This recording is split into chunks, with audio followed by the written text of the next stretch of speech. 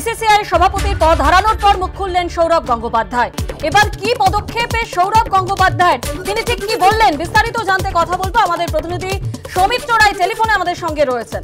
সৌমিত্র, সৌরভ গঙ্গোপাধ্যায়, আজকে ঠিক কি কি বললেন এবং তার ভবিষ্যৎ পরিকল্পনা সম্পর্কেই বা কি জানালেন?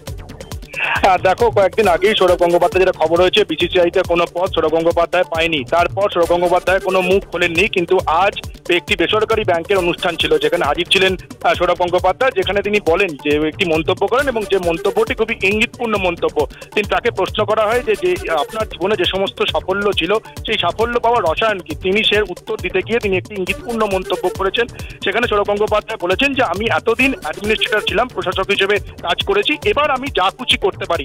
তবে কি করবেন? কোন দিকে তার জীবন কোন খাতে তার জীবন বইবে তা নিয়ে তিনি খোলসা করেননি। তিনি যে মন্তব্যটা করেছেন যে, এতদিন পর্যন্ত আমি প্রশাসক ছিলাম, এবার আমার একটা নতুন দিক বা আমি এবার যা খুশি করতে পারি বা আমার জীবন যেদিকে খুশি বইতে পারে। এই মন্তব্যটা, ইঙ্গিতপূর্ণ মন্তব্য সৌরভ গঙ্গোপাধ্যায় করেছেন এবং তার পাশাপাশি তোমাকে বলে রাখি যে সৌরভ গঙ্গোপাধ্যায় যে প্রেসিডেন্ট ছিলেন, তারপর নতুন বোর্ড প্রেসিডেন্ট হবেন রজার বিনি। এখানে যে অনুষ্ঠানটি হয়েছে, সেই অনুষ্ঠানে একটি এলইডি স্ক্রিনে একটি ম্যাচ দেখানো হয়। যে ম্যাচে রজার বিনি, ছেলে স্টুয়ার্ট বিনি ম্যাচ খেলছিলেন এবং সেই ম্যাচে কমেন্ট্রি করছিলেন সৌরভ গঙ্গোপাধ্যায়। সেই এলইডি স্ক্রিনে সেই ম্যাচের ভিজুয়ালটা দেখার পর সৌরভ গঙ্গোপাধ্যায় মাইক্রোফোনে হঠাৎ করেই বলে ওঠেন যে, আপনারা কিন্তু গুলিয়ে ফেলবেন না, এটা রজার বিনি নয়, এটা হচ্ছে রজার বিনির ছেলে স্টুয়ার্ট বিনি। অর্থাৎ এই যে মন্তব্যটা, তুমি জানো যে রজার বিনি নতুন বোর্ড প্রেসিডেন্ট হতে চলেছে, তার ফলে এই যে মন্তব্যটা, এটাও খুবই তাৎপর্যপূর্ণ মন্তব্য।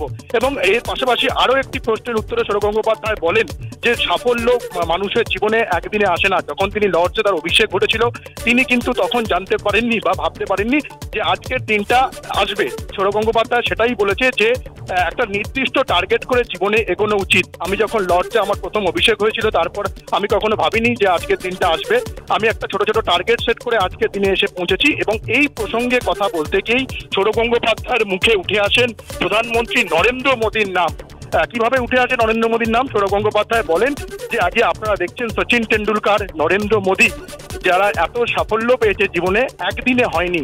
অর্থাৎ তিনি বলতে চেয়েছেন যে যে সচিন টেন্ডুলকার এবং নরেন্দ্র মোদীর জীবনে যে সাফল্য হ্যাঁ, সেটা একদিনে হয়নি। সৌরভ গঙ্গোপাধ্যায়ের এই বেসরকারি ব্যাংকের যে অনুষ্ঠান সেই অনুষ্ঠানে নরেন্দ্র মোদীর কথা উঠে আসে। ধন্যবাদ সৌমিত্র। ইঙ্গিতপূর্ণ মন্তব্য করে সৌরভ গঙ্গোপাধ্যায় ঠিক কি বললেন শোনাবো। When you look at quick success, it does not happen. You know, you know, you don't become uh, Chandrasekhar Ghosh one day.